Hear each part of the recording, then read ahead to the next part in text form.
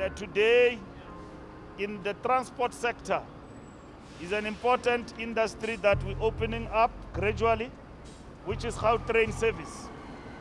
And uh, it is opening up from Pretoria to Johannesburg, and it doesn't proceed to the airport.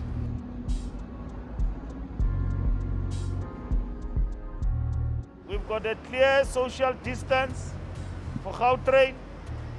We've got uh, a proper way of sanitizing, which is a booth, which is innovation coming into the system. What we have seen this morning is that Gautrain is ready. Uh, the CEO and his team have displayed to us quite impressive work. This morning, we are looking at uh, passing a direction or a determination that enable long distance to be able to be sorted out so that they are not affected by the roadblocks, they are not stopped uh, on the road.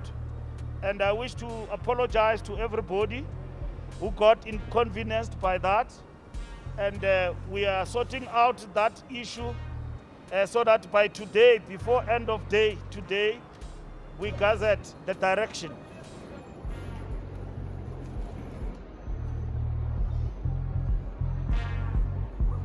Today I'm here uh, because I want to go uh, to go back home to Port Elizabeth. That's where I'm from.